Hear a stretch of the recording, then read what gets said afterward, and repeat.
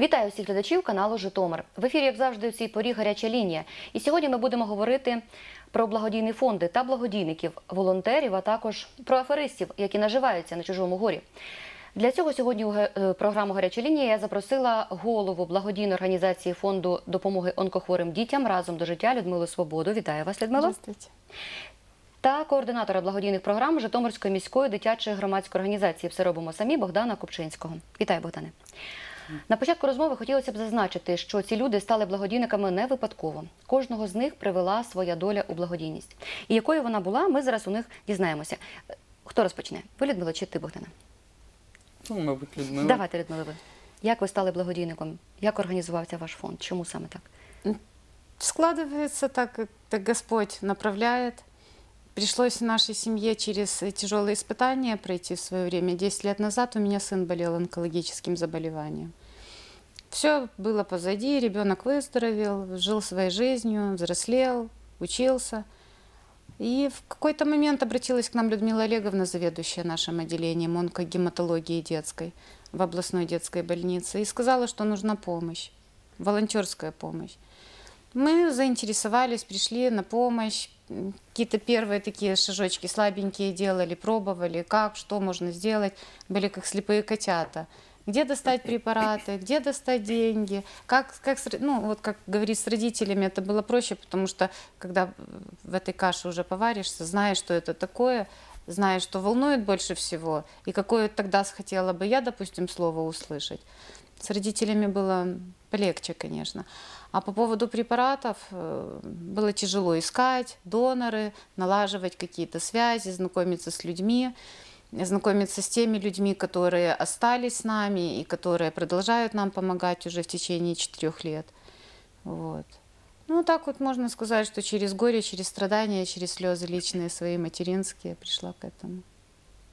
І саме це, мабуть, надихнуло саме на чесний путь, про який ми поговоримо згодом пізніше, тому що ми ж говорили про те, що є люди нечисті на руку, які також м, намагаються займатися м, лже такою благодійною діяльністю. Якою була Богдана твоя дорога благодійність? Ну, взагалі, на мою думку, благодійність це покликання.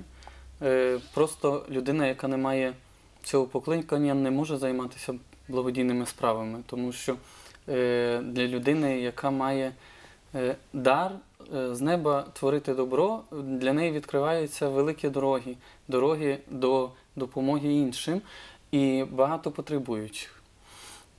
Е, якщо взяти ну, в- подальшому будемо розмовляти про тих людей, які там нечесні на руку, да, то до них е, не приходять люди дійсно потребуючі. Да? Вони беруть з інтернету фотографії, там, ну, і роздруковують їх і, і працюють по своїй сфері.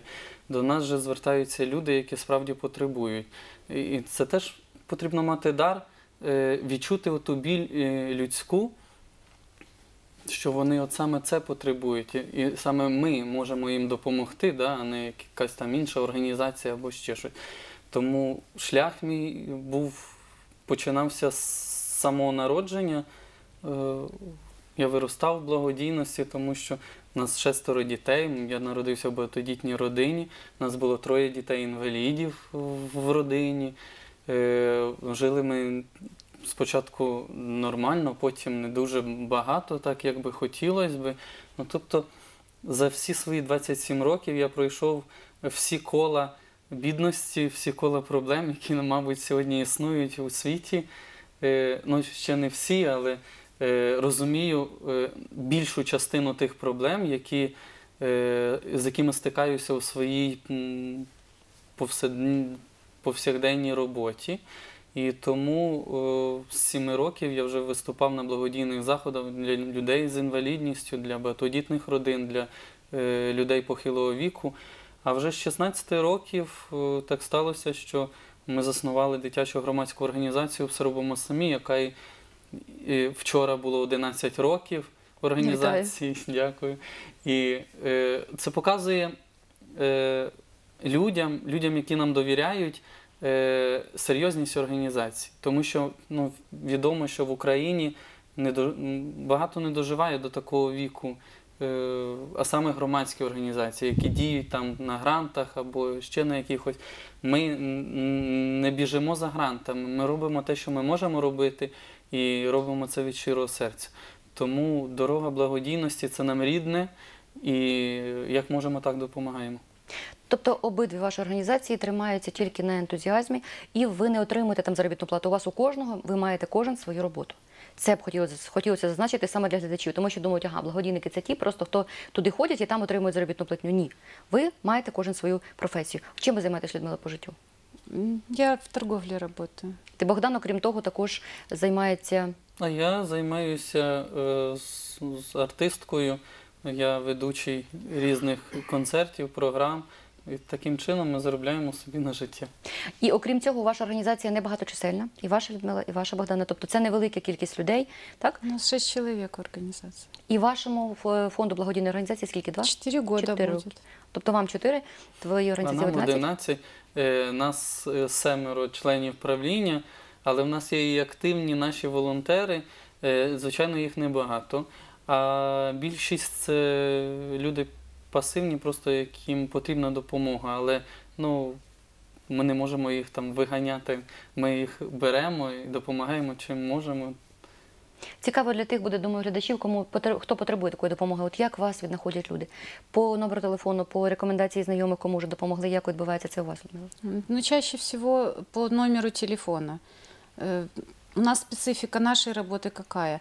Ребенок попадает в онкоотделение детское, э, появляются какие-то нужды. Доктор дает номер телефона, или у нас э, при входе в отделение висит информационная доска, там написано «Разум до життя». И там полностью все номера телефонов, кто у нас за что отвечает, кто за доноров, кто за деньги, кто за информацию, кто за что. И мамочки выбирают, кому позвонить. Но чаще всего, конечно, звонят мне, а мы уже с девочками, с мальчиками договариваемся, кто чем будет и как помогать. Мы все делаем вместе. То есть э, попадает заявление, попадает просьба от родителей к нам, и мы там уже в зависимости от того, что надо. Найти доноров, ну это сложно, но проще, чем найти деньги на операцию за границей. Вот. Це дуже великі суми. Так, звичайно. да, это очень большие суммы. Хотя и с донорами тоже бывают серьезные проблемы, особенно когда праздники. 1 мая, Пасха, Рождество, Новый год, 23 февраля, День Святого Валентина, когда нельзя найти никакого донора, потому что каждый отмечает, кушает шашлычок, там где-то что-то. И получается, что вроде бы список доноров у нас есть серьезный, солидный, а начинаешь звонить, и человек не может прийти и сдать кровь. Так что тут тоже от донорской крови зависит и лечение ребенка, и дальнейшая жизнь, будет ли она вообще.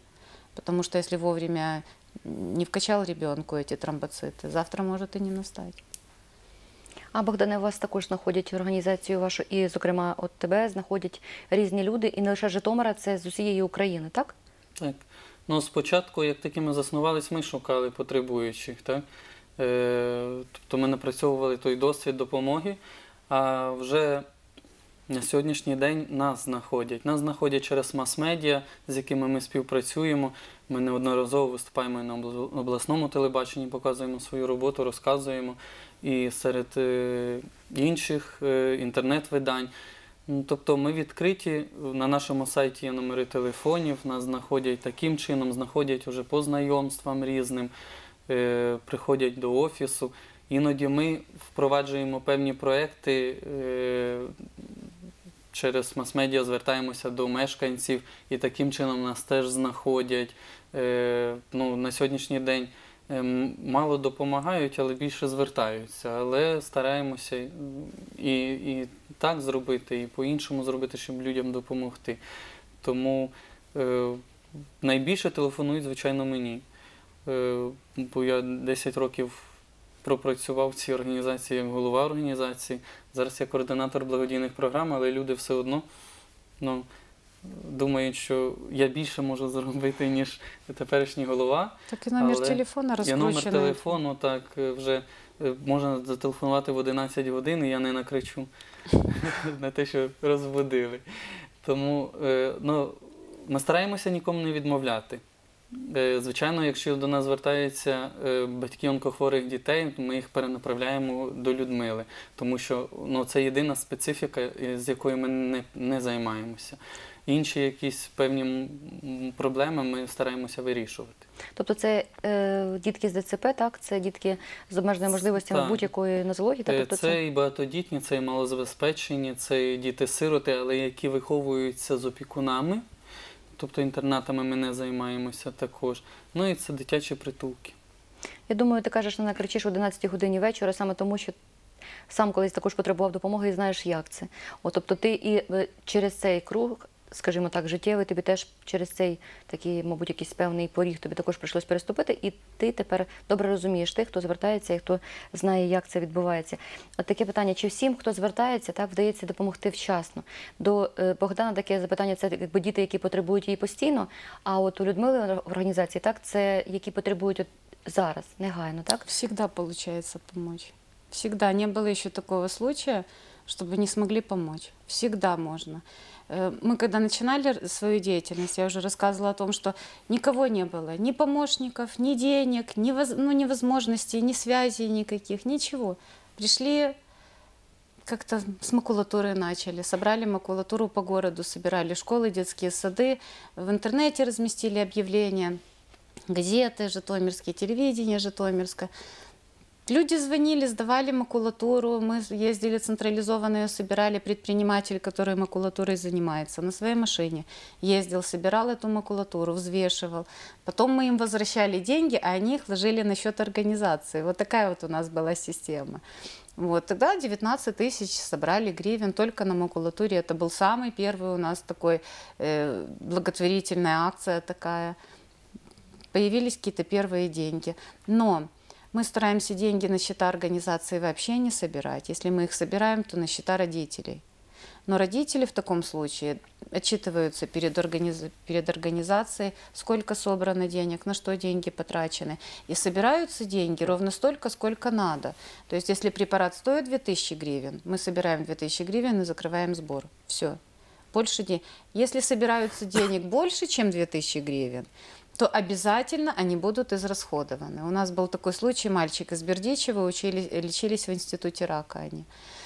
И мама говорит, «А что мне делать? Я не успела предупредить, там собралось больше денег.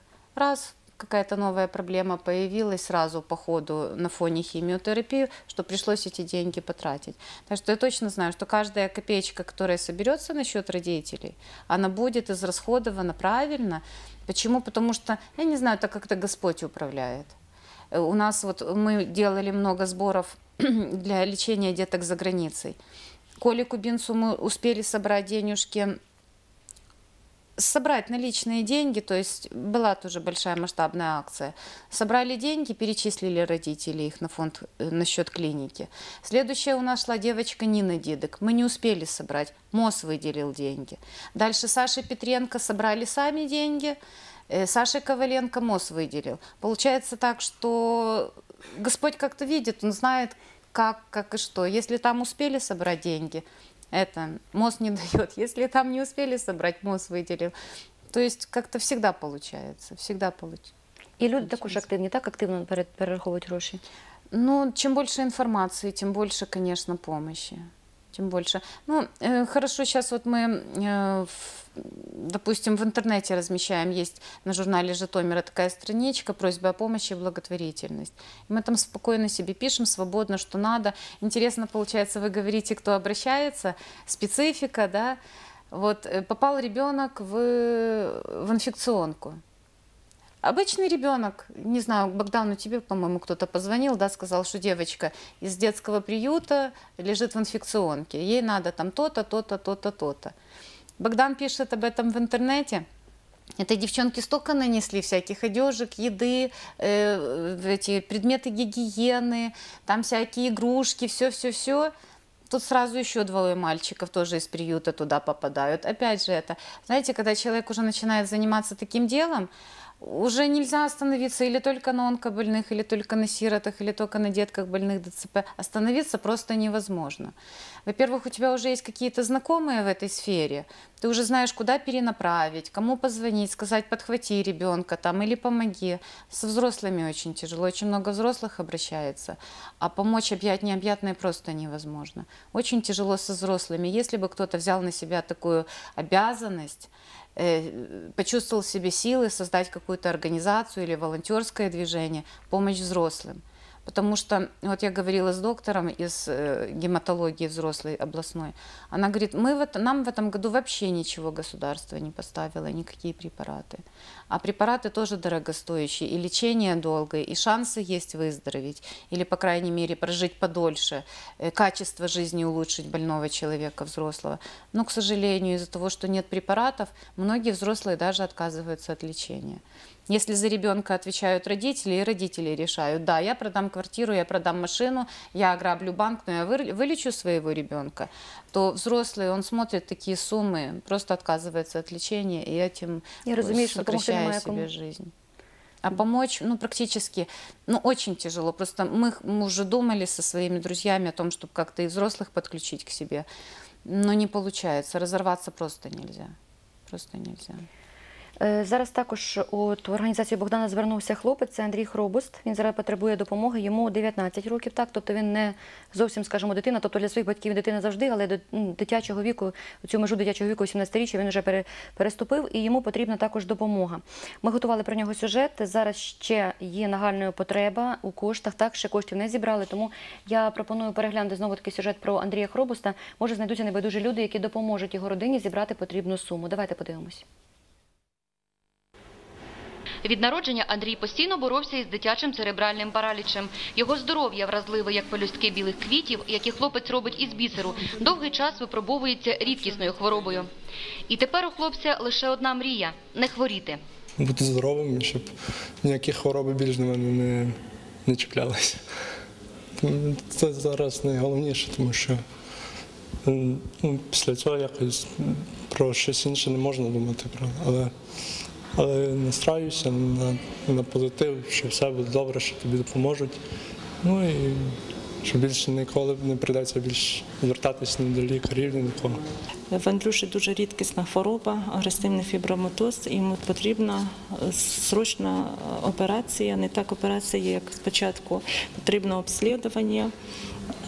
Так як він вже два рази робили операцію йому на копчику, а тепер вона ця пухлина перейшла на сідницю.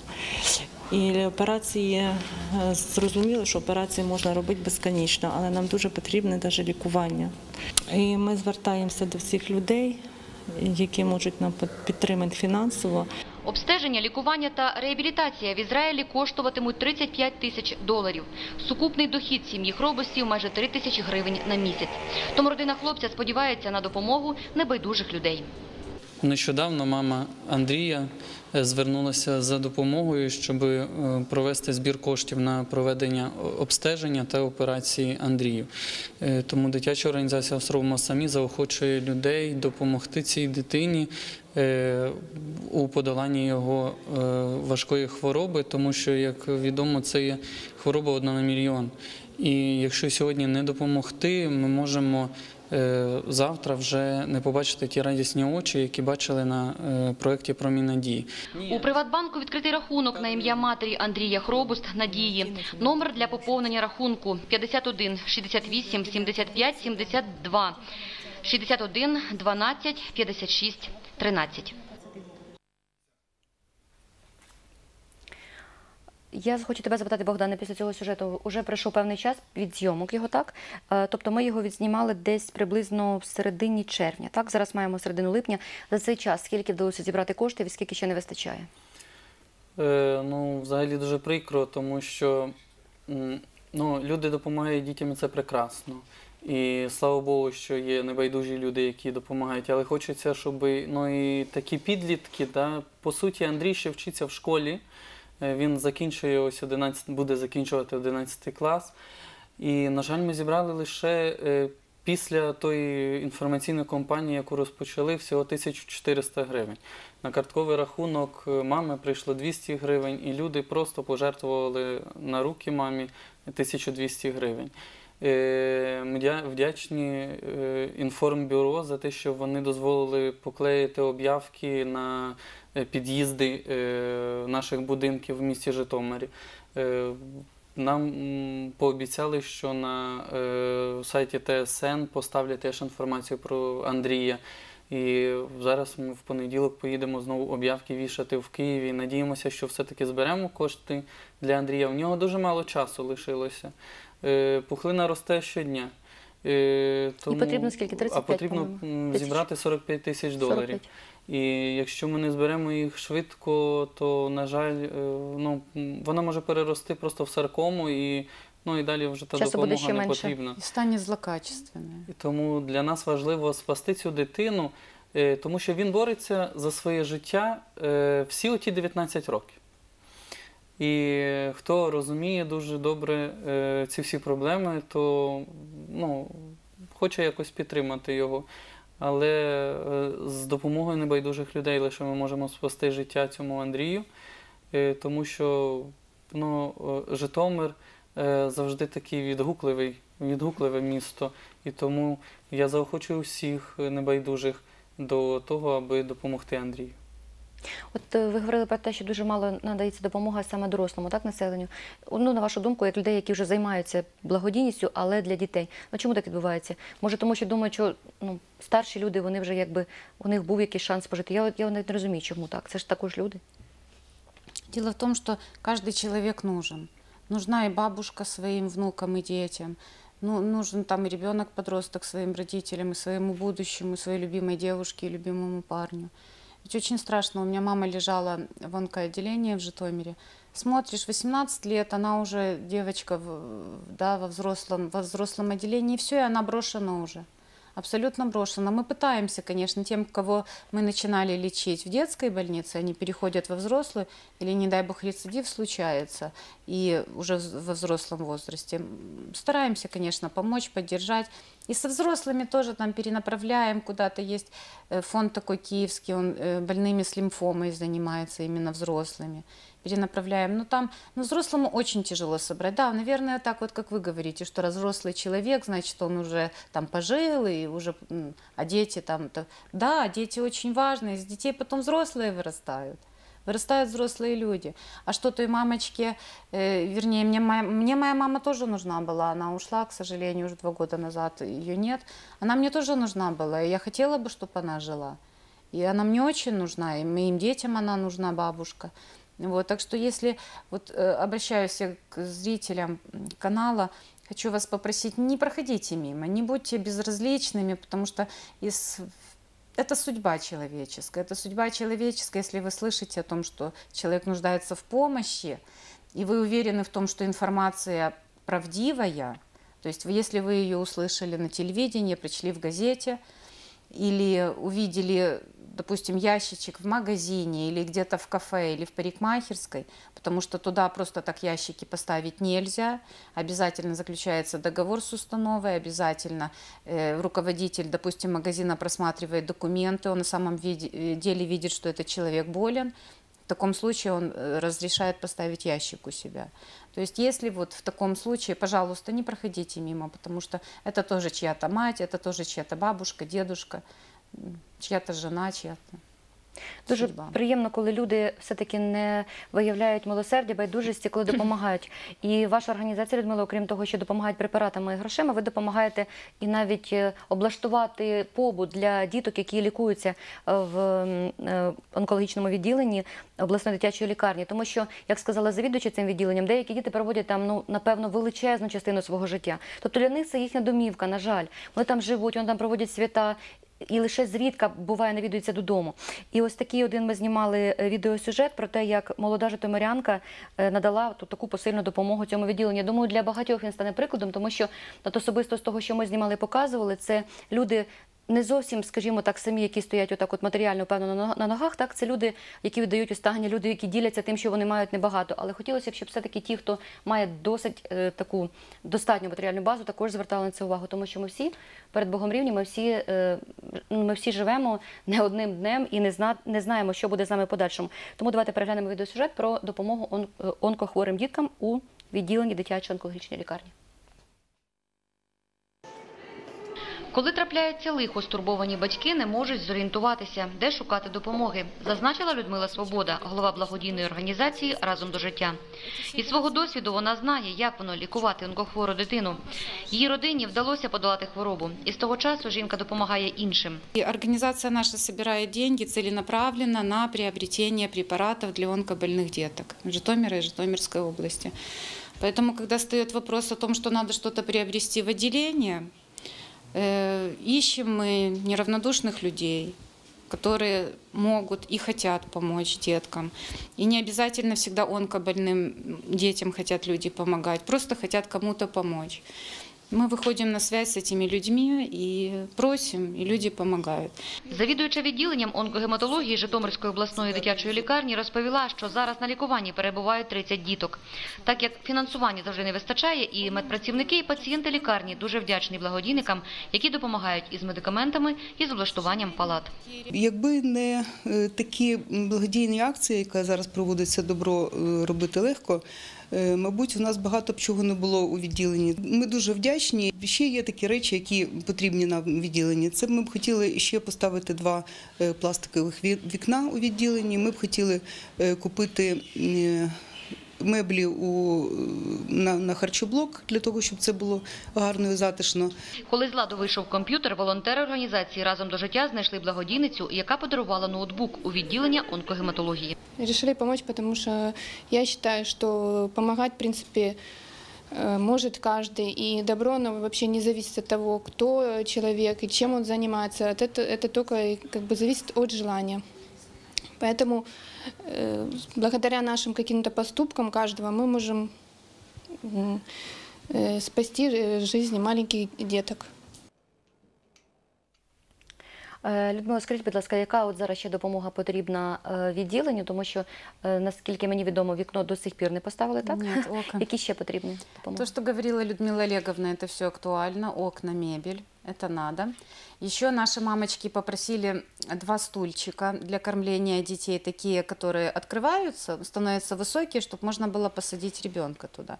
У нас сейчас такие условия в отделении, что родители могут приготовить своему ребенку покушать. Дети на гормонах, они очень кушать хотят, там постоянно рот открытый. И мамочка держит перед собой ребенка и готовит кушать. Вот. Или в тот же самый холодильник, или постирать, там что-то сделать, чтобы можно было посадить. Так что, э, дорогие житомиряне, я вас очень прошу, если у вас детки выросли, у вас остались стульчики, если, э, если есть такая возможность у вас, пожалуйста, созвонитесь со мной, и найдите меня. М, 556-206 номер телефона. Пожалуйста, позвоните и скажите, что вы можете отдать эти стульчики в наше отделение. Мы их с удовольствием возьмем и передадим деткам. Это первое. И второе, беспроводной Wi-Fi тоже родители просят, чтобы э, оформили, сделали в отделении. Вот, поэтому тоже, если есть у вас возможность оплатить услуги интер- интернет-провайдера, или вы сами можете это сделать, купить роутер, сделать, там все подключить. Я не знаю тонкостей, как оно все делается, но тот, кто меня слышит, он понимает. Вот, пожалуйста, тоже наберите меня, скажите, что вы хотите помочь. Мы с удовольствием эту помощь примем. Дякую, Богдане. Може, зараз також є якась така от актуальна інформація, окрім хробуста, от у тебе, скажімо, на цей момент, яка потрібна от організації, е, зокрема дитині, яка звернулася, окрім Андрія, тою організацією. Ну, зараз ми збираємо до першого класу е, дитинку Станішевську. Е, це з- дитинка з багатодітної сім'ї, де шестеро дітей і четверо неповнолітніх. І ось е, там дали цілий список е, необхідних речей для першого класу, що ми аж ужаснулися, що потрібно. Чи летить вона в космос, Е, чи йде в перший клас? І тому, можливо, у когось, е, хто перший клас закінчив, залишилися математика, букварик, е, до букварику, там якісь прописи потрібні. Станишевская София? Е, Ні. Е, Тому е, потребуємо і ці книжки, і потребуємо канцтовари для цієї дитинки, тому заохочуємо до нас прийти до офісу Велика Бердичівська, 25, офіс 2 і принести. е, Хто має ці книжечки і кому вони не потрібні, то дитинка буде щаслива і просто там справді е, ну, немає грошей для того, щоб купити. Ми, ми зараз віддали шкільну форму для цієї дитини. Е, тобто щось зібрали, ми допомагали біженцям, трошки залишилося для багатодітних родин. Ми віддали це багатодітним родинам. Е, Сьогодні існує банк одягу та продуктів для потребуючих. Ми допомагаємо і безхатченкам, і багатодітним, і тим же біженцям допомагали. Тому заохочуємо ще, хто має можливість принести продукти і одяг, приносьте. Ми щодня, крім суботи і неділі, з 11 до 18 збираємо цю допомогу і потім перенаправляємо її потребуючим. Отож, як бачимо, для того, щоб допомагати родинам, які потребують цієї допомоги онкохворим діткам чи діткам з ДЦП чи з багатодітних, е, кожна людина хоча б раз в житті таку допомогу надавала, так? Але виникає дуже часто запитання, чи доходить та допомога до адресатів, тому що, як е, бачимо, досить багато людей по місту пересуваються зі скриньками в руках, і як виявляється, після спілкування з вами і після певних е, листів і е, оголошень навіть в інтернет-виданнях, є люди, є волонтери, благодійники, які абсолютно не чисті на руку, які такі гроші або ж мають собі якусь заробітну плату, це декілька відсотків, так, і вони не малі, або ж взагалі збирають не на ті потреби, які вказують на тому ящичку, так, на тому на тій скринці. І от ви як. е, Голова, як організатори таких благодійних фондів, фондів організацій, дуже було б корисно, щоб саме з ваших вуст почули житомиряни, куди таку допомогу правильно надавати, як має виглядати ця скринька, щоб ті крихти, які все таки здаються, так щоб вони йшли на ту допомогу, яка потрібна. Тому що, як ви сказали, Людмила, кожна копійка дорога, і батьки знають про це, що кожна гривня. От про такі випадки можна розповісти. Почнемо з того, як правильно потрібно, і ви потім розкажете про ті випадки, які були також на вашій пам'яті, як неправильно збиралися кошти. Ну і звичайно, потім як виявилось, куди вони надходили. Можно я начну? Можно. Значит, э, я уже говорила о том, что как должен выглядеть ящичек. Значит, э, нет, начну я с другого. Начну с того, что ящики, которые стоят в магазинах, в кафе, в парикмахерских, э, в кинотеатрах, я знаю, что в Украине вот наш, допустим, ящик стоит, э, эти все ящики поставлены официально. Ни один директор магазина, парикмахерской или кафе не возьмет на себя ответственность за мошенническую какую-то схему. Потому что кроме того, что чисто человеческие качества, плюс налоговая инспекция. Вот. Мы заключаем договор, с, мы и другие организации, кто ставит ящички, или родители даже, э, от, себя порой ставят ящики. Значит, э, за- заключается договор с организацией, где четко прописано, сколько ящиков, по какому адресу установлены, кто ответственный человек за каждый ящик. И, и когда изымаются деньги, к каждому ящику прикладывается акт о изъятии денег. Вот. То есть это все можно, всю цепочку можно отследить, что касается этих денег, собранных в благотворительные ящики, которые расположены в э, организациях. Что касается волонтеров, которые ходят по, ули- а, по улице с ящиками, как должен выглядеть ящик? У, у ящик э, оклеен с трех сторон. На одной стороне э, свидетельство о регистрации в органах управления города. То есть в нашем случае это свидетельство о регистрации благотворительной организации. Написан адрес благотворительной организации, номер телефона, печать, все как положено. Э, На второй стороне фотография ребенка с информацией, для кого собираешь деньги, для чего собираешь деньги. Допустим, если закрывается большой сбор на ребенка, мы практикуем собирать на организацию деньги. То есть мы собираем, ну как на организацию, на счет организации.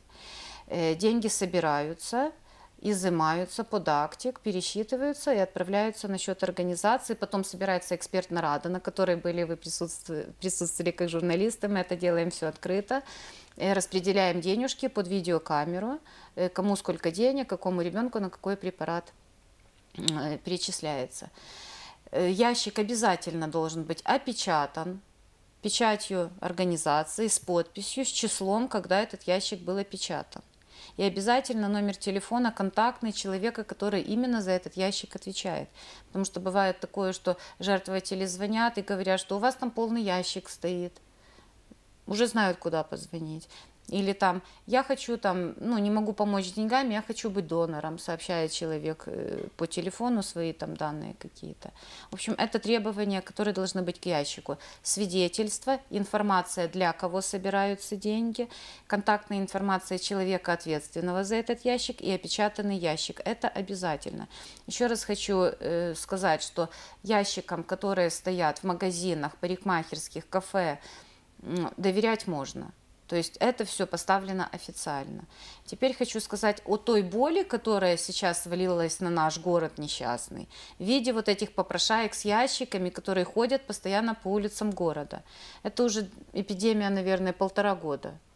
Год как, год как, как минимум фотографіями з городе інтернету, так? с фотографиями из интернета, с фотографиями, бывает, реальных детей, на самом деле, которым нужна помощь. Но э, статистика такая, что житомирским детям крайне редко они собирают. В нашем городе собирают э, деньги на лечение кого угодно, только не житомирян. То есть вот был у меня случай реальной помощи, это Саша Петренко, это был фонд добрых людей, и глобальная линия допомоги Наденька, девочка из э, Коростышева. Но если специфика таких сборов какая? Деньги собираются, деребанятся, э, волонтер сразу себе берет свою зарплату. Скільки це відсотків в середньому, наскільки вам відомо? Кажуть, від, від 40, 20-40 відсотків. Це Ну, я уявляєте думаю- собі від Я тієї думаю, суми? 30% это, это точно. Э, Вот. Потом денежки собираются, отправляются на центральный офис, где там берутся еще на, обус- ну, как бы на организацию можно официально, абсолютно по законодательству положено, разрешено брать до 20%. Вот деньги вы собрали в ящик, волонтер взял зарплату, деньги отправились там на какой-то город, как, допустим, в случае с фондом добрых людей на Харьков. Там взяли свои положенные 20% на обустройство фонда, денежки потом отправляются каким-то образом к родителям. Никто не знает, сколько было денег в ящик собрано, сколько дошло до этих родителей. Вот я могу сказать, что Саше Петренко перечислили 17 тысяч гривен. Вот теперь давайте посчитаем. Плюс 30% зарплата волонтера, плюс 20% на расходы фонда. Сколько могло быть? Это, это то, что официально. Как там, с- ну, конечно, чужие деньги считать не хочу и не буду, и не надо этим заниматься. Но я хочу сказать так, что ни одна житомирская организация не ходит с ящиками по городу и не собирает деньги. В тому числі, в тому, В том числі, і числе ваша. мы, да. Э, Есть много организаций, которые работают и реально помогают. Вот э, Богдан, да, в Саробому самі, ми разом до життя, миссия в Украину, Я мама фонд. на самом деле они работают и помогают, но никого из нас ящиками в городе нет. Никого. Э, На житомирских детей в эти ящики деньги не собираются. Когда я обратилась в горосполком и спросила, почему, какая причина, ответа толком никакого я не получила. Але ці люди можуть і без дозволу ходити, так? От вони Конечно, конечно, в том-то и дело. Есть специальный перечень документов, который должен быть у них. Но мы же не будем звонить, допустим, ну вот первый случай у нас был фонд добрых людей, Харьковская организация, сильно оно задело. Почему харьковчане здесь, в Житомире? Житомир небольшой город.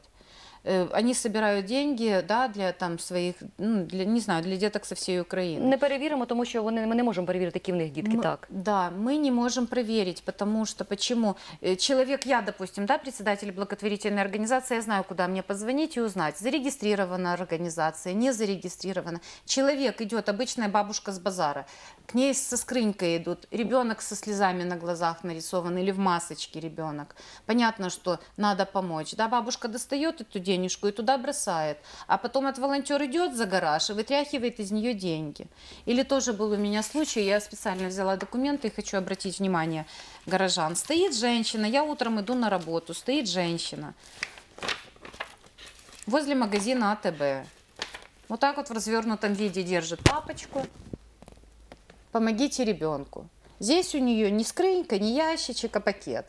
И там уже были какие-то гривны в этом пакетике. Я смотрю, ребенок лысенький, наша специфика. Подхожу, говорю, покажите мне, пожалуйста, документ. Откуда ребенок? Ребенок из Молдавии, лечится в Киеве в институте рака. У нее опухоль головного мозга, а будут делать пересадку костного мозга в Германии. Короче, все, что знала, где слышала по телевизору, то и рассказала. Это была целая операция по изъятию этих документов. Дівочку влада, хлопчика Девочка, влада. девочка Влада, Владислава, наверное. Документы на молдавском языке на самом деле. Здесь вот я подчеркнула, написано, что ребенок в ремиссии, в стойкой ремиссии находится с 2013 года. Это значит, что он уже абсолютно здоровый. И что никакие деньги в таком случае не нужны. Собирать в Житомире на молдавского ребенка деньги и еще со всякой ложью такой, ну, Что мы самые здесь житомиряне, самые богатые. Да, мы жертвенные, житомиряне, молодцы, жертвенные люди. Мы сегодня вот с Богданом называли фамилии деток, которым помогали Уже все житомиряне. И слава богу, Коля Кубинин жив, Ниночка Дидок жива. Э, Сейчас Сашка Петренко заканчивает свое лечение в Германии. На подходе Саша Коваленко пересадку вот должны делать ему со дня на день. То есть об этих детях все люди знали, и, и все люди помогали. И слава богу, и спасибо большое, что помогли. Но вот этим вот э, попрошайкам, я, даже, я, я вообще даже не представляю. Так изъять эти документы, я подхожу к э, работнику АТБ маркета к охраннику. Говорю, смотрите, у вас мошенница собирает деньги возле маркета. Так она ж не в маркете собирает. А хто повинен за це відповідати? От до кого можна звертатися у такому В випадку? милицию. І от допомагають вони вам нотаріально, коли Ну, я звертаєтесь? не знаю. Я чаще к журналистам обращаюсь, чем к милиции, честно говоря. Справа в тому, що в нас же немає спеціального закону про благодійність. У нас є закон про благодійні організації, але про благодійність закону немає, не існує. Тобто сьогодні кожна людина собі вирішила благодійністю, там, ну, от такою благодійністю, да, псевдоблагодійністю зайнятися. От вона собі вийшла Взял с ящик, пакетиком пошел, и пошла. собрал, да, собрал деньги, повернулся, ушел и все. И причем это не только Житомир страдает, страдает вся Украина. В больших городах, там, ну если уже в Житомире, вот мы сегодня с Богданом насчитали, раз, два, три, четыре, пять организаций, Які ходять. которые ходят по Житомиру. А можна їх назвати, щоб усі знали, що туди не варто класти гроші? Да. Люди в Дії, новая організація, фонд добрих людей, е, глобальна лінія допомоги, врятуємо життя разом і громадський активіст. Не знаю, какая организация, у них сзади на футболках написано громадский активист. Что самое интересное, подходишь к этому волонтеру в лапках, спрашиваешь, раньше, когда только началось, началось из фонда добрых людей, э, вы волонтер? Да, я волонтер. Вы получаете зарплату? Да, я получаю зарплату. Волонтер – это добровольный помощник. Человек, который получает зарплату, це найманий працівник, за которого должны платить деньги, за которого должны платить налоги. Сейчас они поняли это, и они уже не волонтери, вони вже громадські діячі. Э, Значит, зарплату ты получаешь сейчас, вот последняя самая такая тоже боль у нас, люди в Дии. Ты зарплату получаешь? Нет, я не получаю. А ты что, ходишь бесплатно деньги собираешь в ящике? Я получаю компенсацию. Какую ты компенсацию, громадский дияч, получаешь? За что ты ее получаешь, эту компенсацию? Все покрыто мраком. Все только на уровне вот разговоров, что между собой. Они же тоже, они между собой разговаривают и по телефону, и все озвучивают прекрасно, какие у них зарплаты, сколько они собрали денег. И есть такие же, ну, наши горожане, которые реально считают, что это волонтерская деятельность, идут в эту организацию, и они все изнутри видят эту гниль, как это все. Это легализация вот этих вот попрошайнических действий. Если раньше цыганки, инвалиды, мамочки с детками под наркозом стояли, им деньги давали, жертвовали. После того, как в масс-медиа поднялась целая программа по борьбе с этими попрошайками, им давать перестали. Решили таким образом, а чего красивый молодой человек в белой футболке с красивым ящичком просвещающимся ходит, просит, рассказывает о том, что э, в такие времена, как у нас сейчас, что тяжело людям выжить просто, а вылечить ребенка вообще неимоверно тяжело. Каждый человек знает, что такое боль. Каждый человек старается пожертвовать. Хочется, чтобы эти деньги пошли на самом деле на лечение людей, на помощь людям, а не кому-то там тот вытрусил из ящика где-то за гаражом себе взял, что осталось, отдал на свою там эту своему боссу, а босс там еще раздеребанил дальше. И что до этого больного человека на самом деле доходит. І якщо взагалі до нього щось Якщо дійде, щось якісь крихти, так. доходить, я согласна. Еще хочу сказать, вот э, Саша Петренко, да, сестра, или сестра, или тетушка, кто-то из родственников, услышали о том, что фонд э, добрых людей помогает Саше Петренко. Она пошла туда как волонтер, она хотела своему племяннику помочь собрать денег. Она как посмотрела, что там творится, сколько денег собиралось и сколько денег перечис- перечислялось на счет Саши. Реально. Она просто оттуда ушла, она не смогла это выдержать, зная прекрасно, что ребенку надо собрать деся- э, сотни тысяч евро для лечения. И, и видя то, что деребанятся деньги, которые собираются именно для этого ребенка, конкретного, его р- родственницы, близкий ему человек, который хорошо знает его проблемы, она увидела это, она не см- ну, естественно, что она не сможет там находиться.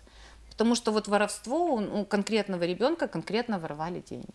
Тобто панацея від цього може надавати адресну допомогу, чи що треба запитати у того волонтера, коли підходиш класти у скриньку? Ему гроші? вообще не надо ничего ложить в скрыньку. И Ой. спрашивать ничего не надо, потому что Не давать грошей. организации, Р- которые реально собирают деньги, реально ведут деятельность, житомирские организации, со скрыньками не ходят. Не ходят. Если вы меня слышите, видите, услышьте меня, пожалуйста. Мы сюда специально с Богданом пришли, чтобы вас предупредить, дорогие житомиряне, наши любимые жертвенные люди. Людям со скрыньками деньги не давайте. Не знаю, дойду домой сейчас отсюда или меня где-то прикончат. Все Я думаю, все буде волонтеры, потому что... е, Це не волонтери, це, по-моєму, по-іншому Ну, називається. Я не знаю, как бандиты, бандюганы. Є багато рядів заходів благодійних, е, те ж саме мас-медіа, е, благодійні концерти, ті ж самі скриньки в магазинах. Це теж є благодійний захід, да, який впроваджують житомирські організації. Тобто ходити ще зі скриньками по місту. Ну це вже ну, ну щось таке підозріле. Да? Хоча, от як е, ви Таміло сказали, ті крихти там люди скидають в місяць. Е, Такі аферисти збирають до 500 тисяч гривень в місяць. Можете собі уявити. Два місяці і дитина вже одужала. То краще дойти до магазину чи до перукарні, де є ці справжні скриньки, покласти гроші туди. Це тим, хто хоче допомагати насправді, а не давати наживатися тим, хто просто от візьме в кого ж має бути робота, навчання. Хто, як ви кажете, безкоштовно, або це людина, яка дійсно хоче пожертвувати, або це її родичі, хто буде просто по місту ходити отак от скринькою. В майбутньому вже я так вірю, що в серпні місяці розпочнеться е, колосальний проект, який дуже необхідний для України. Це благодійна каса, саме про який ми весь час говоримо, про цей короткий номер смс, через який можна буде там жертвувати ту гривню. І е, потім так само е, Людмила погодилася, ми вже давно спілкувалися, погодилася саме працювати над онкохворими. Е, то, тобто вона буде е, займатися тими і документами, і допомогою е, завдяки цьому короткому смс-номеру. Тобто організація в Сровому самі вже домоглася цей короткий номер. Е, Залишилось тільки підписати договір, і вже почнеться цей проект. Тобто, крім того, що допомагати е, в скриньки е, в магазинах, крім того, щоб перераховувати гроші на рахунки батьків, а це є основне, бажано ну, перераховувати ці гроші саме на Тоді вони рахунки батьків. точно дойдуть Тоді до точно вони адресата. будуть доходити. І не Або от завдяки цьому проекту Благодійна каса, який розпочне свою діяльність у серпні, ми зможемо реально відсіяти нехай 30-40% аферистів, але потім згодом і всі інші відсіюються. Головне, е, ну. Вірити е, чесним і правдивим організаціям, які сьогодні існують, працюють. Зайдіть в інтернет, подивіться роботу і фонду разом до життя, і організації в Сровому самі, і інших організацій, які працюють в Житомирі. Е, Сьогодні по законодавству е, ми не маємо територіальної, е, територіального відношення. Тобто ми не міська організація вже на сьогоднішній день. Ми є просто дитяча організація в Сровому самі, так як і просто благодійний фонд разом до життя. Тобто ми можемо працювати по всій Україні, так як і ті фонди, які ми сьогодні Хто назвали. зі скриньками. Е, та. І тому от е, в Києві вже їх там виловлюють, вже там журналісти на них нападають. Та? Тому, а в Житомирі ще можна попрацювати. Але ж ви цього не робите. Ви не їдете в інше місто, ви не їдете в, в Київ, ви не їдете в Харків, ви не Бо ходите з нас там скриньками. виженуть просто. У нас Ну, и нет, это смысла, непорядно. нет смысла это делать. Если мы хотим донести до всей Украины информацию по большому сбору, есть же центральные телеканалы. Да, тяжело пробиться, да, тяжело. Но я же говорю, что Господь, Он всегда-то как-то рас- распределяет, что в тот момент, когда надо, берут, приезжают журналисты с центральных каналов украинских, снимают, пускают сюжет, и ребенок получает помощь. Ну, Але це не ребенок вулиця, или це не взрослый. скриньки. Это не вулиця, это не скрынька. И э, мы же, цыганки, не даем деньги. Мы давно все поняли, что цыганки деньги давать, да, попрошайки, нельзя, смысла нет. Нет смысла бросать деньги в эти уличные скрыньки. Нет смысла. Я еще раз хочу э, подчеркнуть, что тяжело нашим житомирянам деньги достаются очень тяжело. Надо сильно поработать, чтобы заработать да, себе денег. Не, не разбазаривайте их, не раздавайте, не дарите тем же самым цыганям, переодетым в, в, в нарядную одежду белую. Не, не делайте этого. Тому що це також чітко налагоджена така от собі бандитська Аферіст- смена- аферист- аферистська така от аферистка, схема. Також в Так. соціальних мережах це теж дуже поширено. Збір коштів, але невідомо потім. Куди вони йдуть? Да, да. Уже Соціально. от у вас Людмила була така інформація е, на одному з інтернет-сайтів про те, що м, були скриньки прикріплені до паркану, е, і був такий фонд Живи малюк. Живи малыш, да. Так, российский також таки фонд. було. Да, да, да. Это как раз было Рождество католическое. Я шла с костела, смотрю, напротив костела два... ящик висит. Да, один ящик возле костела был, а один на Московской на трамвайной остановке. Деревянный ящик, обклеенный фотографиями детей разными. В общем, там и детки в масочках, там и детки с ДЦП на этих фотографиях. Детки, которые держат вот так вот листочек, написано Хочу жити. М, Хочу, нет, это другая организация какая-то, ну тоже, да, авторитетное очень интернет-движение, где собирают, спас- спасем, сп- спасем жизнь вместе, как-то так, вот, Э, значит, висит деревянный ящик, прикрученный к дереву, с таким вот амбарным замком, о- огромнейшим, я его сразу сфотографировала, пошла на работу и звоню журналистам и говорю, вот такая вот такая вот ерунда, как это, что это сделать. И звоню своей помощнице Юлечке, я говорю, Юль, спеши с этим фондом э, «Живи, малыш» и узнай, проводят ли они какую-то деятельность здесь у нас на Украине.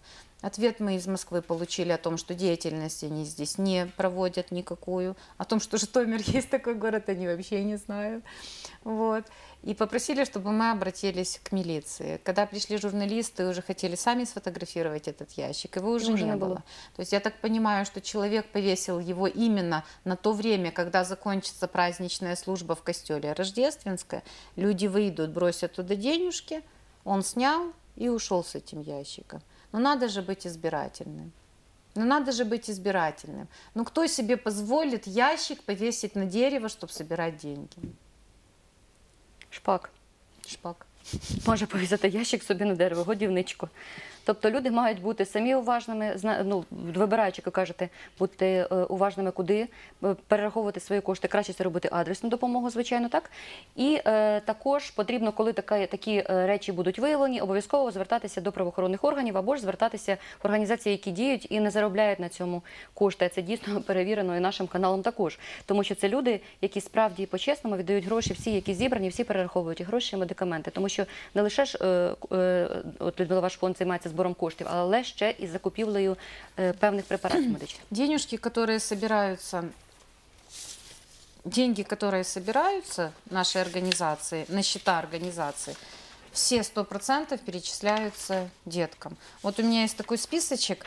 Значит, за 2013 год у меня здесь 23 ребенка, 23 человека.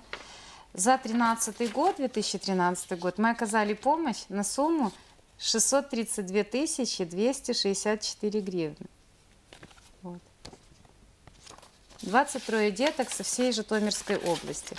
Так что если есть, а вот, ну да, если есть возможность, дорогие житомиряне, пож- пожалуйста, 556-206, Людмила Францевна, Свобода. Звоните, мы найдем того человека, которому нужна помощь в данный момент, и ваши денежки или какая-то другая помощь дойдет до адресата, до того, кому надо на самом деле помощь нужна. Тобто, дав би Бог, щоб такої допомоги поменше людей потребували, але як показує саме життя, такої допомоги потребують дуже часто.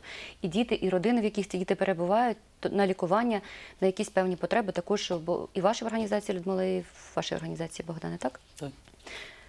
Хочеш щось доповнити з приводу лже волонтерів? Я просто Про хотів сказати, скажи, що в- ну, якщо теж брати по соцмережам, то е, теж е, споглядайте на те, що є телефон мами, е, номер рахунку. Переконайтеся, що це дійсно. Е, Дитина е, ну, потребуюча, дитина там лежить в лікарні або вже там на реабілітації. Телефонуйте батькам цих дітей. Докторам. Беріть телефони лікарень, де е, діти перебувають. Це, ну, це є вкрай важливо, тому що е, взяти, якщо по скринькам до 500 тисяч е, гривень в місяць збираються, то можете собі уявити, скільки збирається через соцмережі, тому що. Е, Якщо взяти Японію, то там збирається через соцмережі е, щорічно 145 мільйонів доларів лише через соцмережі. Але там дійсно правдива країна, яка потім е, віддає ці гроші на благодійність. Хоча теж, коли я був на семінарі, говорять, що ми не знаємо, куди їх діти. Дайте їх Україні, ми покажемо, куди потрібно їх витратити. Тому слідкуйте за цим. Також, е, коли до вас телефонують, ну дуже є зараз е, телефонні, да, е, Мошенники, да. аферисти, які телефонують і останні гроші забирають у батьків, е, які на лікування збирають гроші.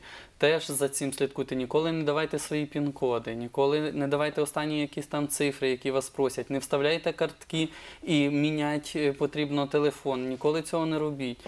Е, будьте обачними. Дуже хотілося б, щоб всі ті схеми, які працюють неправильно, тобто такі аферистичні, і ті всі е, е, людські, е, людський розум був направлений у правильне русло, а не в таке, яке придумати якісь схеми, як краще гроші зібрати і краще витратити їх туди, куди потрібно. Я дуже вам дякую, що були сьогодні з нами. Думаю, нам глядачі будуть вдячні також за таку правдиву, і цікаву цінну інформацію. Час нашого ефіру підходить до завершення. Хотілося сподіватися, що джерело людської доброти та милосердя не всихатиме. І завжди будуть знаходитися люди, які будуть здатні прийти на допомогу іншим, прийти на допомогу один одному. Вам дякую, що були з нами. До побачення. Вам.